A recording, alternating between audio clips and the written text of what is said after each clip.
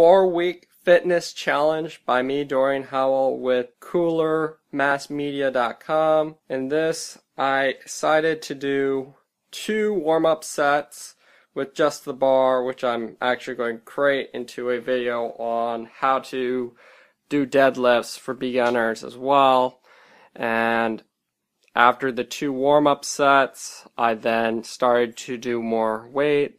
Like I show, I, I did about two 25 pound plates for five reps. And again, that was, my back was feeling really cool. I, I wasn't warmed up at all, even though it's warm in my gym. I felt like that set was actually a warm up as well. My next set was a 105 pounds. And again, that set, I felt like warm up set as well. Again, it's very low weight. I'm getting back into it. I want to take my time with it. And then the third set, I felt like doing more reps, which was the 115 pounds. And that I felt pretty good. But then again, more weight you do, the more your hands start fatiguing, your forearms start fatiguing. The third set, I decided to review my form, so I watched it about twice just to check on everything, and I noticed that I didn't do the back bend as much as I normally do.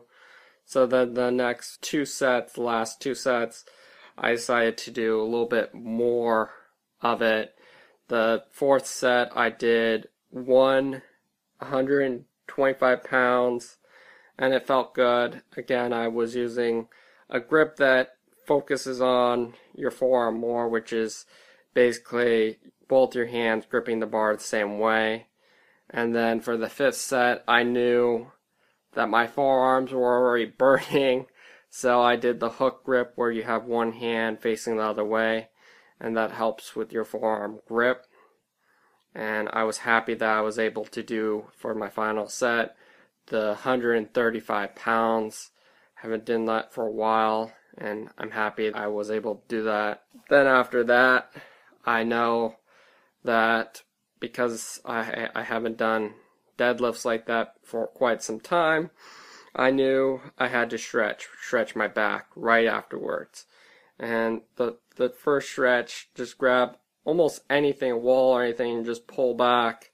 And I like the image of imagine like you're in a hurricane or heavy winds where you're grabbing on for dear life, where your hips are actually. I want to thank my sponsors for helping me create more content. If you like this video, please share it and like as well. And also comment on what you like best about this video as well. It might be highlighted in my next video as well. If you enjoyed my content, my channel is mostly about fitness videos, ping pong, and occasional blog posts. Please subscribe to my channel.